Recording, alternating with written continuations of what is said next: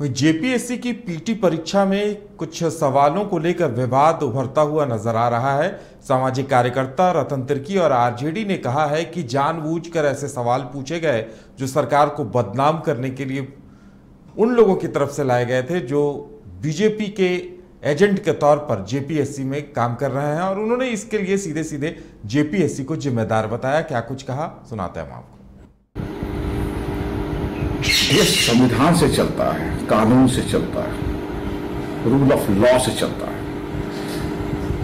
आरोप लगाने वालों को यह ध्यान देना चाहिए या भी जो सवाल जो जिन लोगों ने चुना, वो फांसीवादी सोच से ग्रसित है।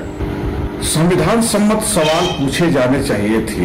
यहाँ से झारखंड के आबोहवा के बारे पूछते, ज़मीन के बारे पूछते, जंगल के बारे पूछते, इतिहास के बारे पूछते, परंपराओं के बारे पूछते विदु विदु भगत के बारे पूछते सिद्धू कालू के बारे पूछते अल्बर्ट परमवीर अल्बर्ट हिक्का कब शहीद हुए उसके बारे पूछते। सब बताता लोग। वहीं आरजेडी ने भी इस पर सवाल खड़े किए और कहा कि जानबूझकर ये सरकार को बदनाम करने की साजिश है। जेपीएससी परीक्षा हो या कोई भी संयुक्त परीक्षा हो उसमें किसी के धार्मिक भावना के साथ खिलवाड़ करना अपने आप में बड़ा अन्याय है। और हम समझते हैं कि ये झारखंड सरकार को बदनाम करने की साजिश है।